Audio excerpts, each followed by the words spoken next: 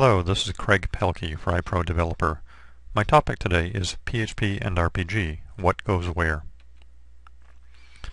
For our starting point, consider that most IBM i web applications are database driven, as opposed to websites that serve mostly static HTML content. As such, most IBM i web applications also need to interact with existing IBM i business logic. A possible exception may be a new web application where there is no existing IBM i business logic and all of the requirements of the application can be met with SQL. In that case, you may be able, to develop a PHP-only solution using just PHP and SQL. Many open source PHP projects are of that nature. One of the issues that you'll run into when developing a web application using any language is the issue of the code weight. Here we see an example PHP application by Mike Pavlak. This application uses an SQL select statement to get data from the IBM i. The page displays the data in an HTML table. As you can see, most of the code in this application is PHP code. In addition to the PHP, there's the HTML code. Notice that the HTML code is intermingled with the PHP. As you add more code to the page, it becomes more difficult to pick out which section is which. Because this is a simple application, it contains only one SQL statement. Finally, most web applications will also contain JavaScript and CSS code. That's five different languages and syntaxes mixed onto one page. The more code you put onto the page, the greater its weight. It will become increasingly difficult to develop, debug, maintain, and enhance the application. That leads to a question should you use SQL in your PHP code? Now I don't mean should SQL be used. We obviously will need SQL to access the IBM i database. Instead I mean should the SQL code be embedded within the PHP code? The obvious question is, why not? Why wouldn't you just write the SQL code within the PHP code, as was shown in the sample application? When you're learning PHP, many SQL statements that you see as examples are simple SQL selects. In most real-life applications, the SQL statements tend to be more complicated, usually involving multi-table joins with multiple selection criteria. Also, it's not unusual to have more than one SQL statement on a page.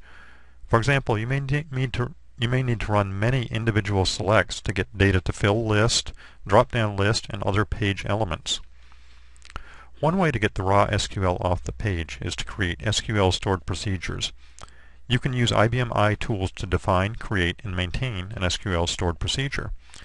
A big advantage of moving the SQL out of the PHP and into a stored procedure is that you can test, tune, and modify the SQL independently of the PHP code.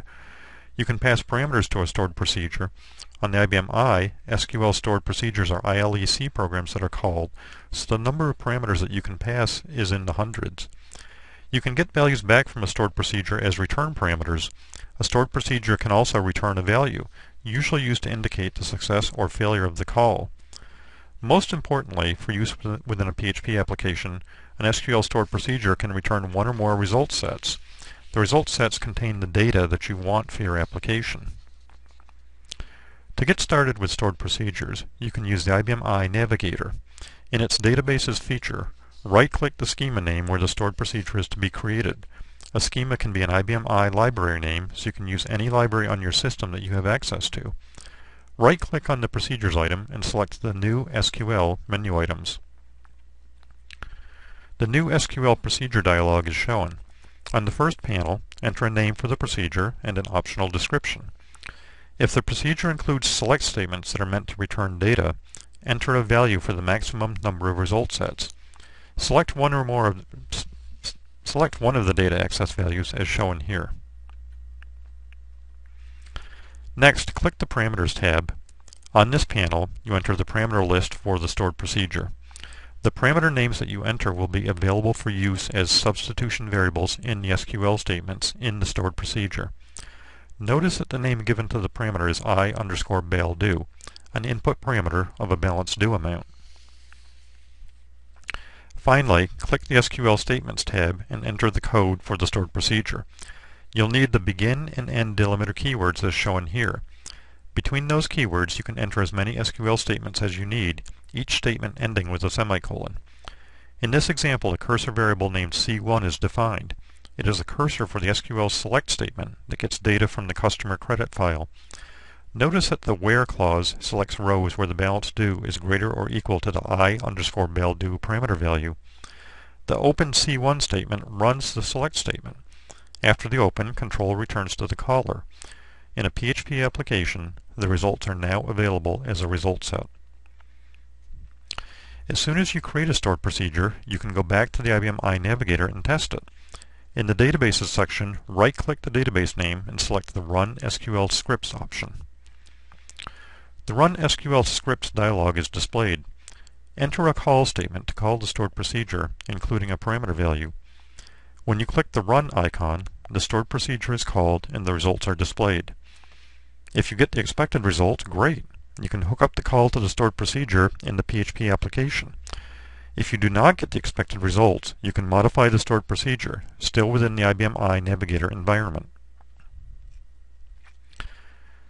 To modify a stored procedure, go back to the IBM i Navigator and select the Procedures item under the schema or library name where it is located. Next, in the list of stored procedures, right-click the stored procedure and select the Generate SQL item from the pop-up menu. The Generate SQL dialog is displayed. You can open the generated SQL in another window, or write the generated SQL to a file. In this example, we will open the SQL in the Run SQL Scripts dialog. After you click the Generate button, the source code for the stored procedure is displayed in the Run SQL Scripts dialog. You can see the code that was entered in the new SQL procedure tabbed dialog that we saw earlier. You can also see that quite a bit of additional code has been generated. You can make any changes you need to the generated code and to the SQL select statement. When done, click the Run All icon to recreate the stored procedure. Now, what about calling RPG programs or procedures from PHP? Most IBM i shops will have a lot of business logic in their RPG and CL programs, the feeling is, why reinvent the wheel? The problem is the wheel might not fit. It might be like trying to put a car tire on a bicycle. Programs that include a workstation file and use display file I.O. operations might be very difficult to reuse within a PHP application. The reason is that the business logic, which you really want to use, might be very tightly bound up with the code that drives the user interface.